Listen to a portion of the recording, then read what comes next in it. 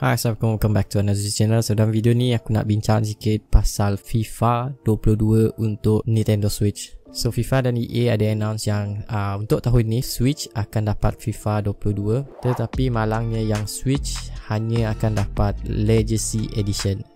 So which mean untuk Legacy Edition ni aku akan terangkan kat korang untuk PS4 korang akan dapat uh, Ultimate dan juga Standard Edition uh, di mana PS5 pun juga sama korang akan dapat Ultimate dan Standard Edition. So kita dah nak cerita pasal PS4 sama ada PS4, PS5 ataupun Xbox. Tapi back to Switch Patut ke tidak korang upgrade daripada FIFA 21 ke FIFA 22 So aku juga akan reveal harga uh, FIFA untuk Nintendo Switch ni uh, Iaitu FIFA 22 nanti. Okay so balik ke cerita kita tadi Yang Switch hanya dapat Legacy Edition. Itu bermaksud yang Legacy Edition ni uh, korang hanya akan dapat play update yang di mana uh, untuk play update tu uh, dia orang akan eh, dia orang akan adjust yang uh, mana-mana transfer player ke club ni ke club ni uh, dan tak ada uh, improve major improvement untuk grafik sama sekali untuk Nintendo Switch. So still bagi aku ni adalah perkara yang uh, menyedihkan bagi korang yang ada Nintendo Switch. So kalau korang ingat balik yang back in 2019 ataupun 2020 so time itu first time EA announce Volta mode untuk FIFA ni. And aku agak excited time tu sebab bila EA announce Volta for the first time. uh, Volta tu macam mod uh, futsal yang korang main dekat uh, biasalah kalau main futsal uh, 3 lawan 3 tu. So itu dah Volta mode. And perkara yang menyedihkan adalah Nintendo Switch tak ada Volta mode and still kita dapat Legacy Edition. Uh, bagi aku ni adalah perkara yang sangat menyedihkan untuk EA bagi dekat pengguna Nintendo. Lebih-lebih lagi uh, untuk Nintendo Switch.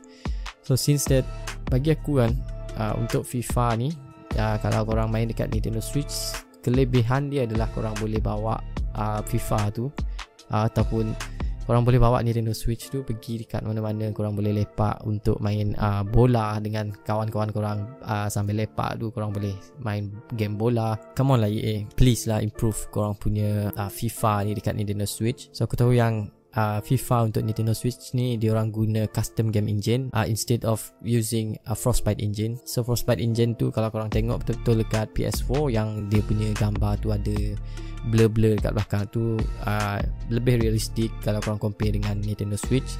Since apa yang aku cakap tadi Nintendo Switch hanya menggunakan uh, custom game engine so ni adalah perkara yang menyedihkan dan bagi aku kalau korang nak upgrade korang punya FIFA ni uh, misalnya korang ada FIFA 20 FIFA 21 so bagi aku tak payah beli lah untuk FIFA 22 uh, misal lah kata yang diorang uh, tukar fikiran yang diorang akan buat uh, major improvement untuk grafik so korang boleh upgrade asalnya korang boleh beli FIFA 22 untuk Nintendo Switch. So aku akan buat uh, gameplay review untuk FIFA 22 nanti. Sekiranya dia uh, lepas dia keluar dekat Nintendo Switch ni so aku akan buat gameplay uh, video dalam keadaan handheld. So harga yang korang akan dapat untuk FIFA 22 dekat Nintendo Switch adalah uh, 39.99 US dollar dan kalau convert dekat Malaysia harga dia adalah sebanyak uh, 170 ringgit Malaysia. So harga dia lebih murah daripada korang uh, dapat untuk PS4 So kalau aku tak silap untuk PS4 dia akan pergi dalam uh, 59.99 US dollar. Dan kalau convert dekat uh, duit Malaysia ni Harga dia 250 ataupun lebih daripada 250 ringgit uh, duit Malaysia. So macam aku cakap tadi aku akan buat uh, gameplay video untuk FIFA 22 dekat Nintendo Switch.